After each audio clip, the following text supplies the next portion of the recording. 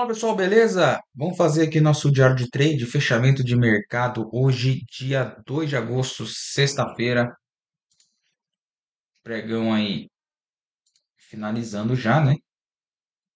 E vamos aqui, galera, com o gráfico do índice, uma queda aí até o momento de mais de 1%, tá, pessoal? Queda de um, mais de 1% por enquanto. Vai fechar no campo negativo, né? A gente vê o padrão no, no gráfico de uma hora.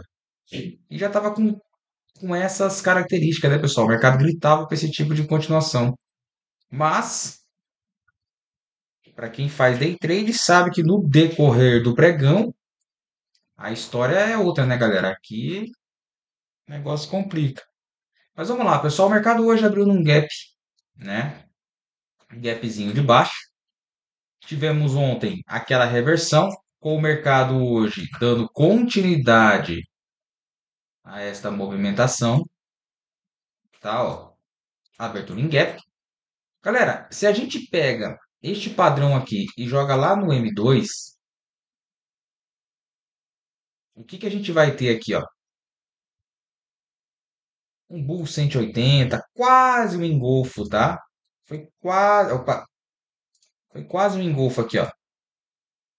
É um padrão comprador, né? De fato, é um padrão comprador com a, entrada ruptura e stop na mínima. Ou seja, mesmo sendo na primeira hora, é um padrão bacana. Mas o que, que acontece, pessoal? Eu, particularmente, não sou muito fã, né? Eu sempre falo para vocês de pegar o mercado nessa primeira hora, porque às vezes as pessoas, ah, vou ali, né, pegar, por exemplo,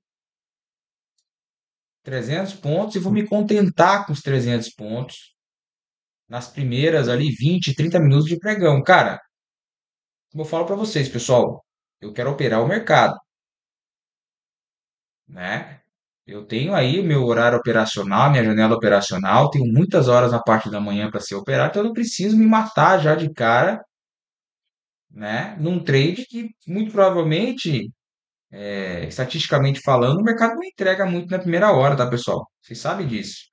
Vez ou outra ele faz aquele rally ali que dá uma incomodada, mas na grande maioria das vezes o mercado sempre dá uma travada, ok? Hoje era o dia do payroll, né? Os dados aí americanos. E olha o tamanho dessa barra, né? Barrinha do payroll. Interessante, né? Só que vem testar suporte no dia de novo, galera. Vem testar suporte no dia de novo. E aí você fica com aquele quesito, né? E aí, será que os caras vão defender nessa região de suporte? E defenderam. Se eu coloco no gráfico de 2 minutos, por exemplo, a entrada está sendo aqui, ó, de forma antecipada, né? Porque os 5 minutos fechou somente depois. Ok? Então você teve uma entrada antes. Eu sei que é difícil operar contra uma barra negativa forte, mas é uma barra de notícia, né, pessoal? No começo do pregão, né? Não foi uma barra aí que que foi elaborada por vontade do mercado, por vontade dos players, foi por razão de notícia. Ou seja, olha o que acontece depois. Simplesmente o mercado dá uma arrancada, né?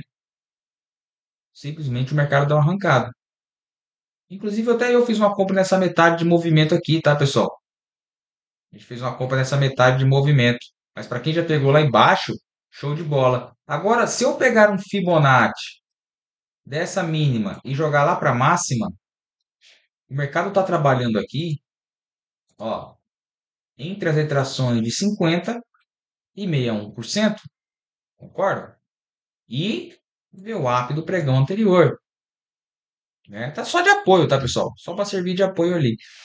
E aí vem a entrada de pressão vendedora, ó. Aí aqui vai vir a entrada de pressão vendedora, seguido com os dois candles fortes, né? Que acaba acelerando o mercado no movimento baixista. Só que aqui, galera, é que tá o problema. Explica para nós aí, Mol. Aqui, ó. Esse suporte do dia, rapaziada. Esse suporte do dia era o problema. Por quê? Quem não vendeu aqui em cima vai sentir muita dificuldade em vender aqui no fundo. Vocês concordam comigo? Vai sentir muita dificuldade, extrema dificuldade em vender no fundo. E aí, você tem que aguardar o pullback. O mercado até faz um pullback aqui, ó. Só que quase meio-dia, pullbackzinho, eu diria meio que sem vergonha, né? Daqueles de barra ignorado, né? Só que o ideal era ter pego a venda lá em cima, nesta combinação de padrão ali, ou talvez antecipando por um time frame menor, para não ter precisado ficar com dificuldade aqui. Porque, galera, aqui embaixo o mercado chamou para compra duas vezes, pessoal, porque era suporte do dia, ó. Era suporte do dia, o mercado chamou duas vezes para compra aqui, ó, né? Só que não acabou indo. Muito pelo contrário, o mercado perdeu o fundo e seguiu caindo e tá seguindo caindo, né? Aí eu até tinha postado lá, inclusive eu, eu tentei comprar aqui, tá, pessoal? Fui estopado. Aí depois eu não vendi não. Aí eu encerrei a sala e saí fora, porque muito cansado. Hoje eu achei assim, é, para mim, tá? Eu achei que hoje essa manhã de mercado foi muito demorada, galera. Muito demorada, acho por causa do pergol, não sei. Foi muito demorada e cansativa, tá? Então, por FIBO, galera, vocês estão vendo que eu vou trabalhar espelhando toda essa região aqui, ó. Tudo isso aqui vai ser espelhado para baixo, tá? Então, olha só, pessoal, presta atenção. Eu vou puxar o primeiro nível, ó. Mercado rompendo, ó. Né? Esse candle aqui tá rompendo, ó. Esse candle aqui tá rompendo, ó. Né? Bem ou mal é um pullbackzinho de rompimento. Puxei, tá vendo? Ó? E aonde o mercado veio? Veio cravar esse primeiro alvo. Correto? O mercado veio cravar esse primeiro alvo. E tá paralisado aqui. Daqui a pouco acaba o pregão. Mas é muito difícil ter reação compradora aí, tá? E aqui, voltando agora lá para aquele pré-rompimento que eu tinha comentado com vocês, se eu interpretar isso aqui como uma onda 1 e jogar isso aqui como uma 2, ele fez também um movimento medido aqui, ó trabalhando com fractais. Só que é algo, galera, que você tem que ter muito time para identificar, tá? Não é algo simples, não. E pelos 60 minutos, tá derivando, tá, pessoal? Isso aqui é uma deriva, tá?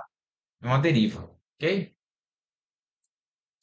Galera, no mercado americano,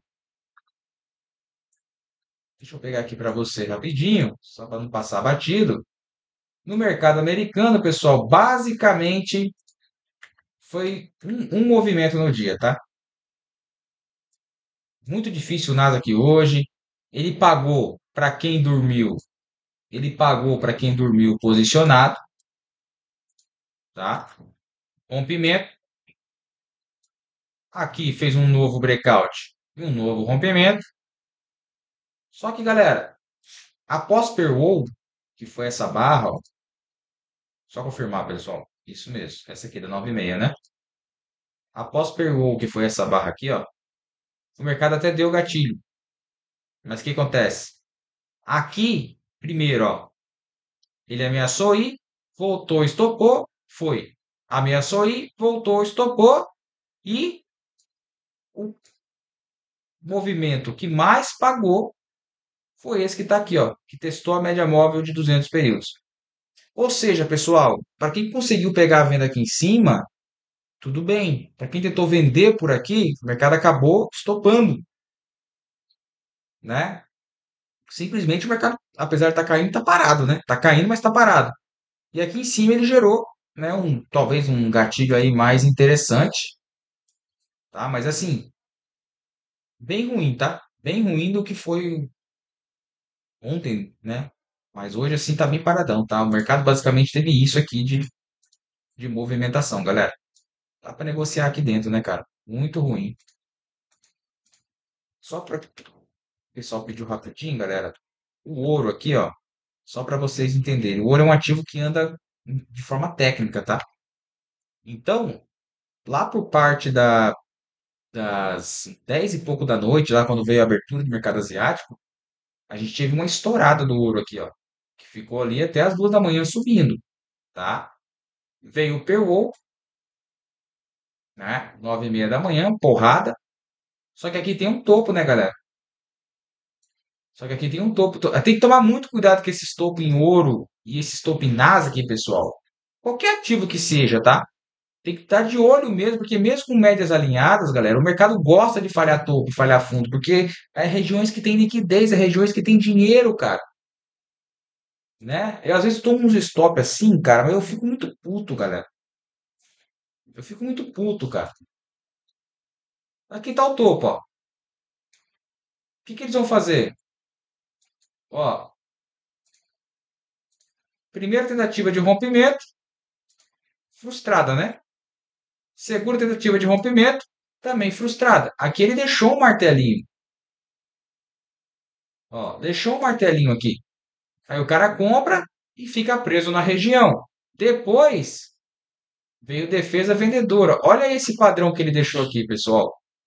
Se o cara teve coragem e peito para vender aqui, basicamente, galera, ele pegou toda essa pernada de baixo, porque não, não aconteceu nada depois, a não ser um repique aqui embaixo, né? A não ser um repique comprador aqui embaixo, ó. Correto? Né? Tanto que quando os comprados vão tentar levar essa movimentação para cima, o vendedor segue defendendo. Aí, galera, você jogaria um fibo nesse topo e jogaria para esse fundo. A lógica é a mesma que a gente utilizou para o índice.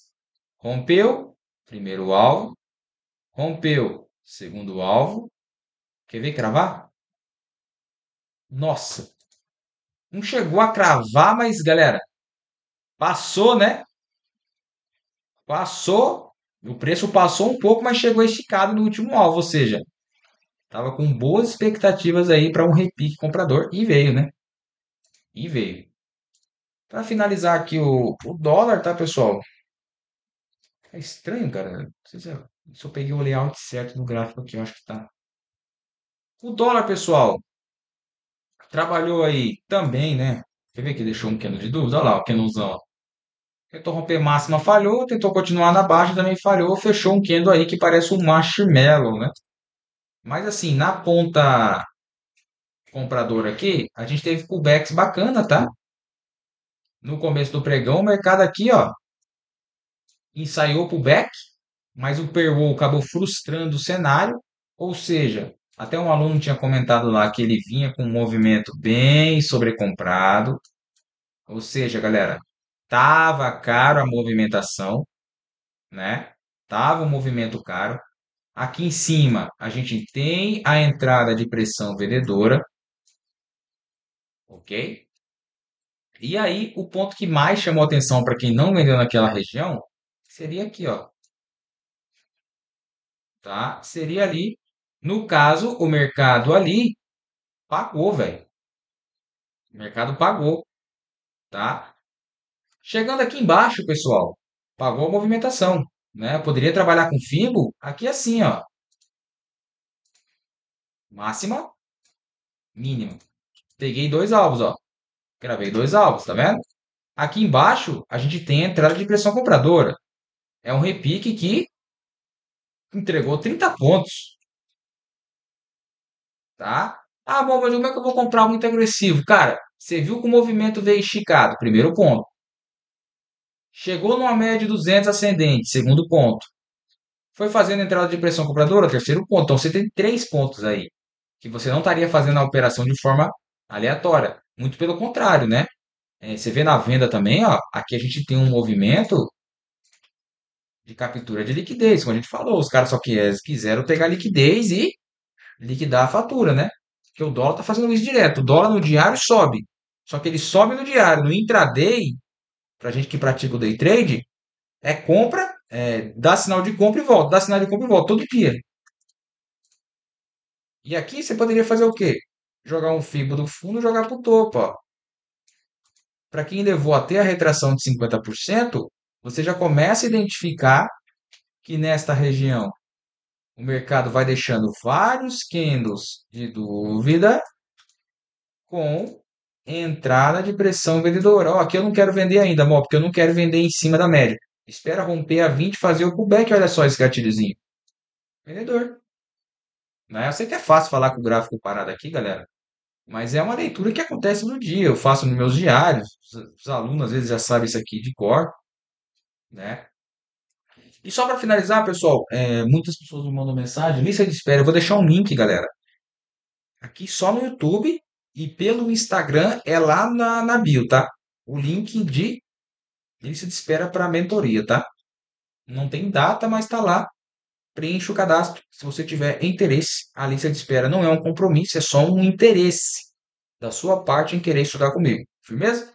Forte abraço a todos e até a próxima, galera.